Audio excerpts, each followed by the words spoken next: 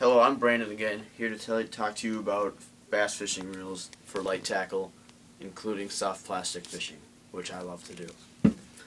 And now, what this reel is is it was my dad's reel, and you can, as you can see, it's missing a hand a handle grip and a line guide that I that I just ordered yesterday, and it should be coming in a couple weeks.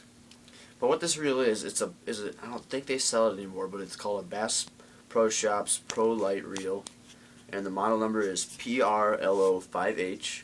It's a high-speed reel, has seven bearings, and it is a 6.3 gear, 6.31 gear ratio.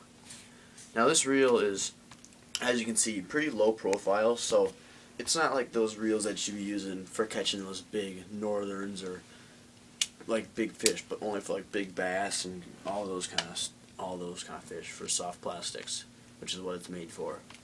And now the ride that I'm going to get, I haven't quite figured it out yet because I'm going to buy a Abu Garcia Revo SX and I'm probably going to get like either the Vendetta or a Kevin Van Dam reel for that one which will cost me quite a lot of money which I'm saving up right now.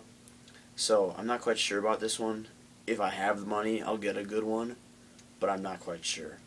But other than that, this is a good reel, and if you can find it, I'd buy it because it's a good it's a good reel for soft plastic fishing when you just want light tackle. And that's my video. Talk to you next time.